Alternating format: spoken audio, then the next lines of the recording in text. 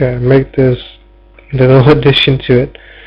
If I pull this lever, you'll see that it gives a nice little delay to it, and then it switches the track.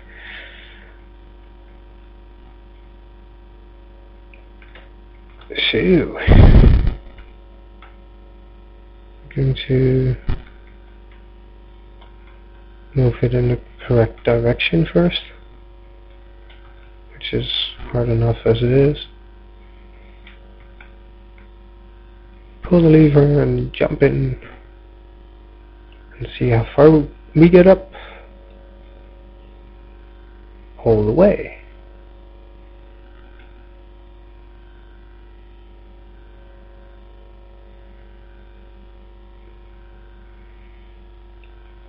So that's a good nifty little tip from Alphalis, thanks to him. Um, what I said just earlier was the um, detector gives power to the adjacent uh, powered rail but actually uh, it doesn't give well it gives additional power to the next one if this would be a another powered rail. However when this card leaves the detector pad this whole track would lose power again. Um, so what somebody figured out or was trying to figure out and I don't know if if he updated it yet but he was getting close and I forgot his name. I didn't find it again on YouTube. It's a big place on YouTube. Sorry sorry sorry uh, but he was experimenting with supplying the um, well two things. Actually gaining the momentum from just one little push to the next um, detector and then on to an infinite push. Uh, he noticed that for for the start you need uh, by comparison to have this really close together but uh, the further you spread out the more uh, the more distance you can have between those. Mm, I'm a bit scared of monsters but okay. But uh, in in theory it works quite nicely because as you saw there uh, each detector provides current to the, the next little bit of track and away you go. Sorry again that I forgot your name, but thanks for the inspiration. Um, another inspiration I found was props to, I believe it's the WOX or the WOX the excuse me the W0X he had a, a, video on YouTube. He showed the uh, an empty card detector which was pretty nifty.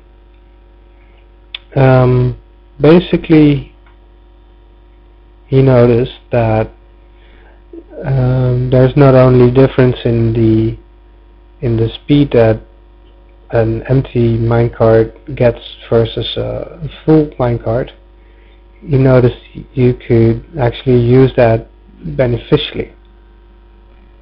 Um, you notice here, if I take this track, uh, it goes round and round. However, an empty minecart, as you just noticed, switches to this track.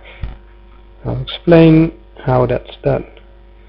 The minecart that's empty, um, going to pause it. Oh, doggy, save me, save me, doggy. Uh.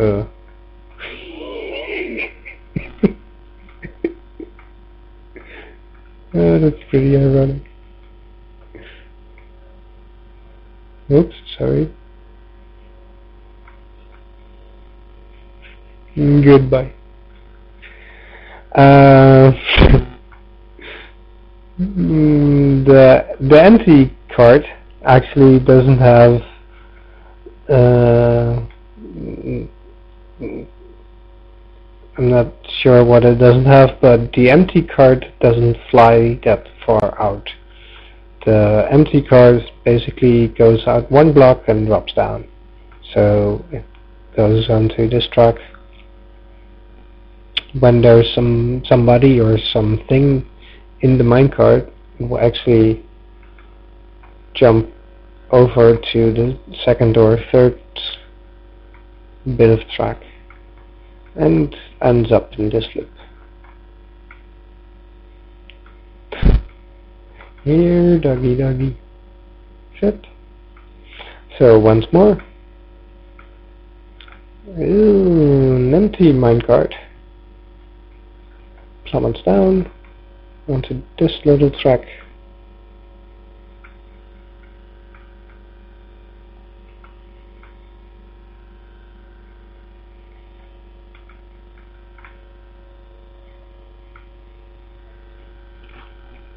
An occupied card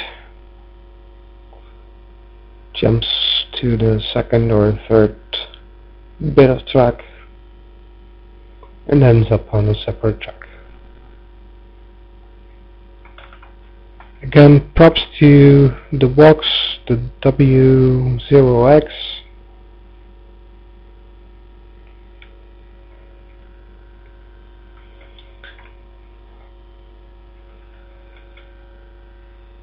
just because it's so good and you can use it in your track system. The unpowered version. Just have a button next to your track and push the button. And off you go. Um, this um, this is about the maximum distance that your cart will travel if it's if it's really from un, from from uh, the gentlest push as you can imagine from unpowered to boosting. If I leave this one out ugh, not in time I leave this one out but with a different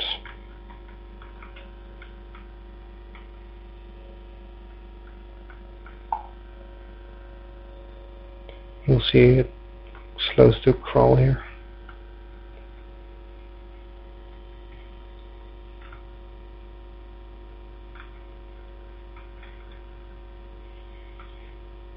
However, there is something in there that you can actually use in your track.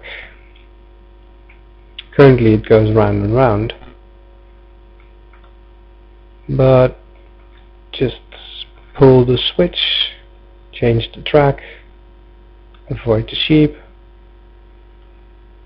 and away you go onto a different track.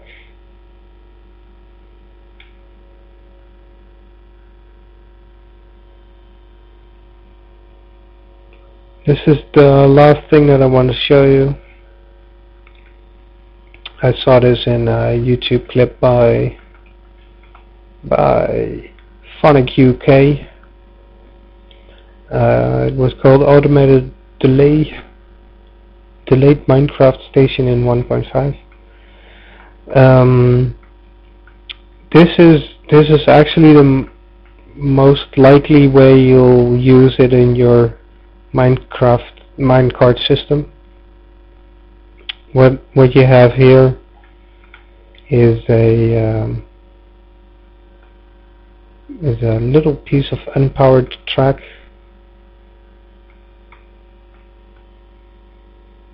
And um, due to the fact that it's raining it doesn't work apparently. I had this time so it would work. Hmm. Oh well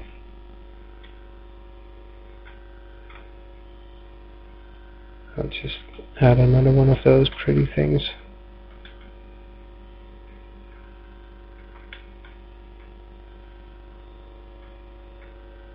It will work. Basically, um, the minecart arrives at your station. It pops the trigger of the detector by going over it. The detector activates this little bit of circuit. Actually, it's just a delay until the signal comes to the unpowered reel. The reel is powered, it stops working as a brake, but instead boosts the bit of cart and away it goes onto your circuit. Well, uh, train circuit, train track thing. There you go. Uh, it's running very late, so excuse my English. I'm not native English anyway, so um, hope you still learned something despite um, me giving you all sorts of complex schematics and um, IDs. And uh, I'll talk to you soon. Bye.